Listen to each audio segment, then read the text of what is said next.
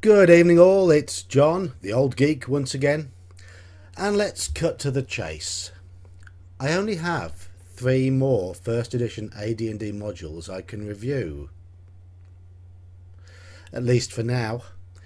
Next up is one I've been holding back on reviewing. People have strong opinions either way about this one. It's I6 Ravenloft. Feel like I should have um, recorded this one at night. Surely one of, if not the most famous scenario in AD&D history, the original I6 was written by Tracy and Laura Hickman and was released in 1983. It was well received and spawned a sequel in the form of I-10, Ravenloft 2, The House on Gryphon Hill. There was a setting box set and a reworking of the original module during the second edition era, and continual expansions and revisions through later editions. Most recently, it was repackaged into Curse of Strahd for 5th edition D&D. But before I get into the reasons for its enduring legacy, I'm going to be predictable and talk about presentation. This module, without doubt, marks the aesthetic high point for AD&D adventures. The artwork by Clyde Caldwell is consistently outstanding, from that iconic cover image of Strahd surveying his domain, through numerous evocative internal pieces. I would argue that no module has ever had such consistently high quality art. The tone, variety, and impact of the pieces bring it to life. So, with that in mind, rather than put the usual little small images in the corners of my videos, I will be blanking out my face at various times in this video with big, big images. And then there are the maps. Dave Sutherland's work could often be patchy, but these were his zenith. The 3D renditions of Castle Ravenloft are beautiful and give an excellent idea of the sheer vertical scale of it all. But there is a drawback with them. While they are beautiful to look at, the perspective makes them rather difficult to use during play. When I last ran this module, I redrew them all in 2D and used my 2D workings in combination with the original module maps, and that worked fine. Text is florid and descriptive. Typical Hickman in places, but it works. Sadly, there are quite a few typos and formatting errors, as was common with 1983 TSR. But listen to this. I am the ancient. My beginnings are lost in the darkness of the past. I am not dead, nor am I alive. I am undead forever. From the first moment you glance at the cover, the inspiration for Ravenloft is clear for all to see. It's an homage to Dracula, the story revolves around Count Strahd von Zarovich, a bitter and pitiful soul who through his own actions condemned himself to a life of undeath, unlife, whatever you want to call it. It contains all the vampire tropes, all of them. A broken heart, unrequited love, a foggy night, wolves howling in the forest, an imposing castle, a decrepit inn with a faded sign hanging at an angle. But no matter how predictable and stereotypical this all is, this is how it should be. The adventure begins with the party in an inn. Yes, another trope. A mysterious stranger brings them a letter, a desperate plea for help. They answer the plea and in doing so become trapped in the land of Barovia a cursed domain ruled by Strahd.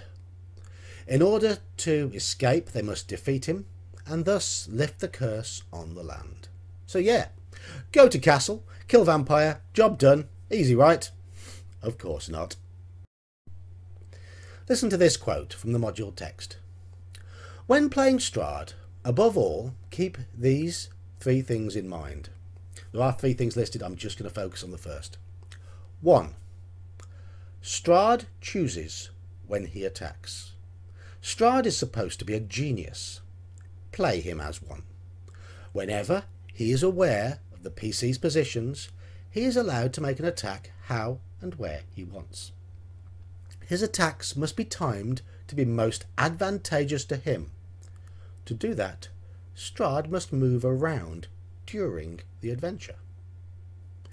A great many adventures were presented with the big bad guys in their lairs at the end of the adventure.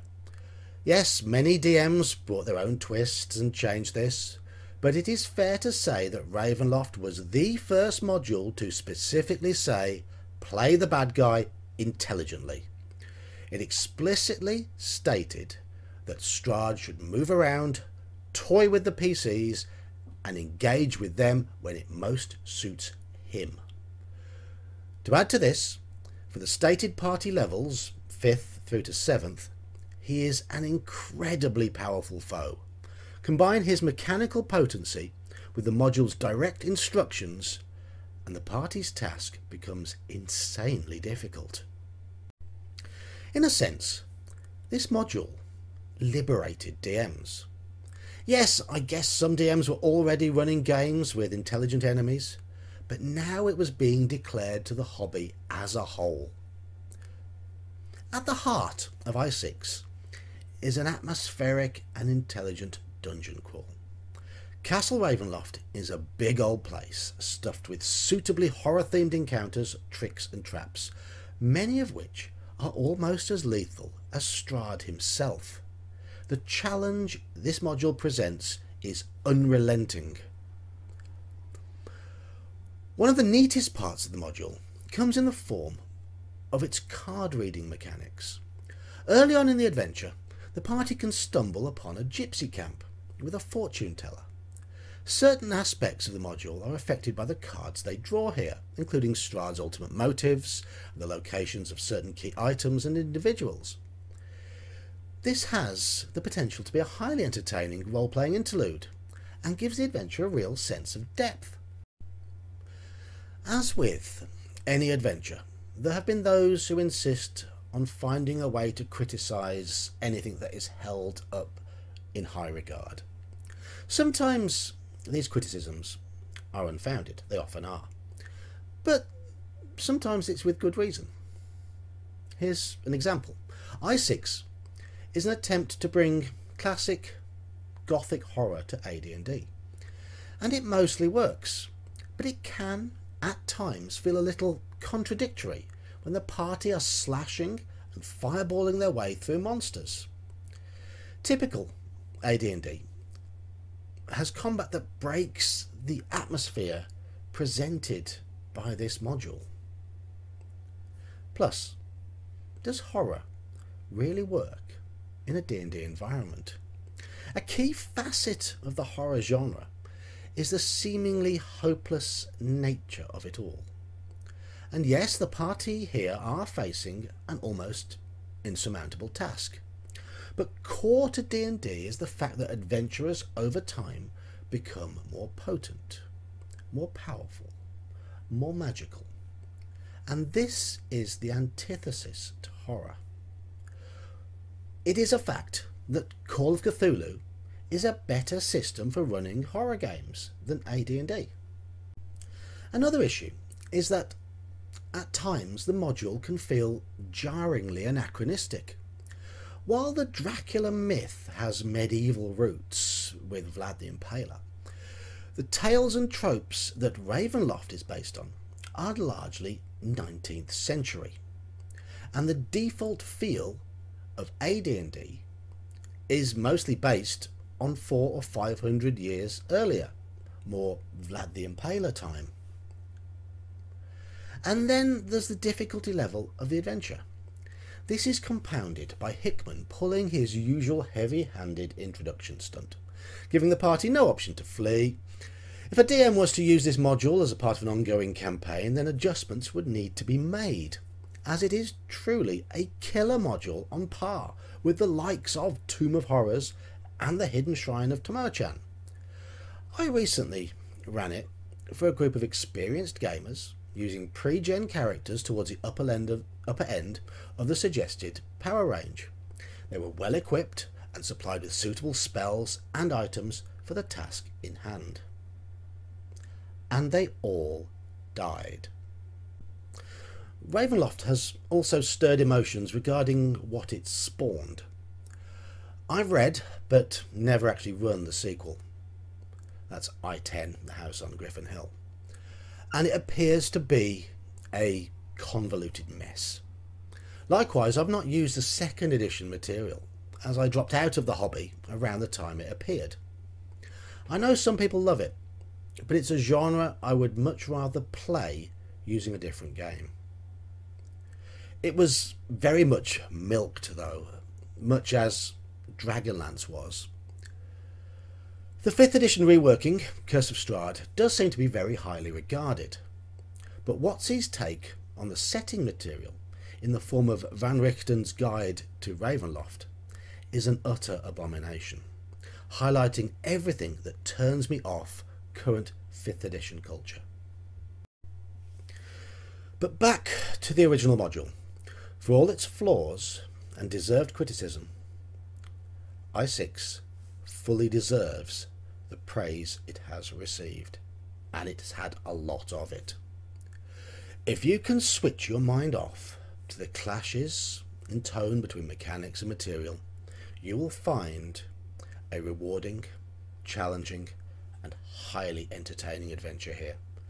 Strahd is a magnificent villain, both in his capabilities and his personality, but even more so in the freedom of options he presents for the DM. Every gamer should try Ravenloft at least once.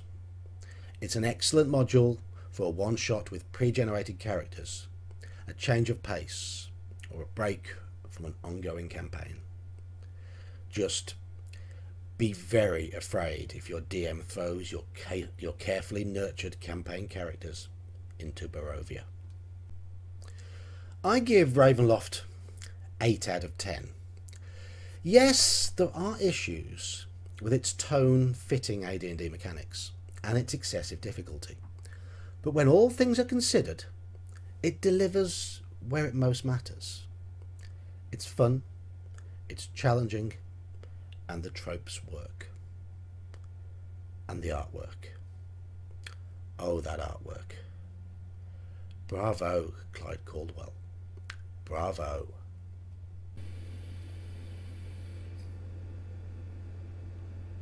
Fog, look, fog.